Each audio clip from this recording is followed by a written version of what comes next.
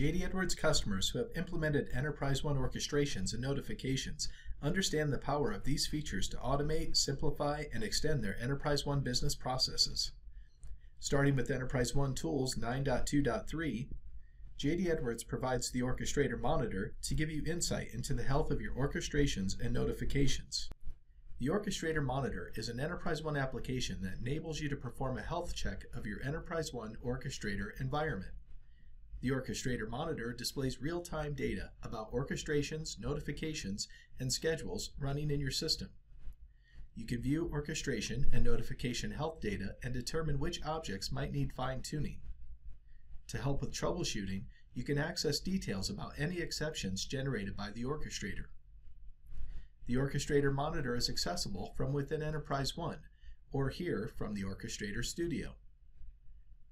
It's important to note that because orchestrations, notifications, and schedules are managed as user-defined objects in Enterprise One, the Orchestrator Monitor displays information only about the objects that you are authorized to view through user-defined object security in Enterprise One.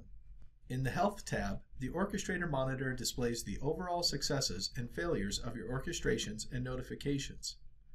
You can display only failures or only successes, or you can search for a particular orchestration or notification. This information helps you identify which objects are performing well, which objects are failing, and which objects might need a little fine-tuning for better performance. The bar chart represents each instance of the orchestration or notification up to the last 10 instances the object was run. A red bar indicates an instance failure. Hover your cursor over each bar to view the date and time the object was executed and how long it took to execute.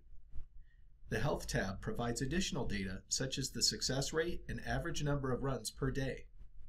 Drill down to view more details about an object, such as the ID of the object, the environment in which the object was executed, and additional success and failure statistics.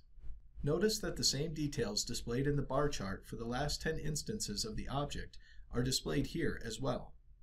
To aid in troubleshooting, the Exceptions tab provides details about any exceptions that the orchestrator generates when executing orchestrations, notifications, or schedules. Select a predefined date range or enter a custom date range to display exceptions for a particular time frame. The Orchestrator Monitor enables you to filter the results, or you can select to display exceptions for a particular object type. You can view exception data in a chart list or list view. The list view displays general and detailed information about the exceptions. An icon indicates if the exception is for an orchestration, notification, or a schedule. You can find additional information such as the name of the exception, the HTTP status code returned, and the user ID and environment of the user who invoked the object. Expand the exception to view more details, such as the name and IP address of the host machine that made the request to the orchestration or notification object, and the processing time. Depending on the object type, other details might be available to help with troubleshooting, such as the JSON input used in the request to the object and the exception message. The step trace describes the last successfully completed step in the orchestration. Here in the chart view, you can display exception data visually in a chart. You can display data in a pie chart or in various types of bar charts. You can display information by object name, exception, or application error. The key to the right of the chart changes to identify the data represented in the chart. Click any bar or section in the chart to access more details about that selection. For example, by clicking a bar that represents the number of exceptions for an object in one month, the Orchestrator Monitor displays details about the exceptions. Periodically, you will need to remove data that you no longer want displayed in the Orchestrator Monitor. This data purging is facilitated through the Orchestrator Exceptions program, available here in Enterprise One.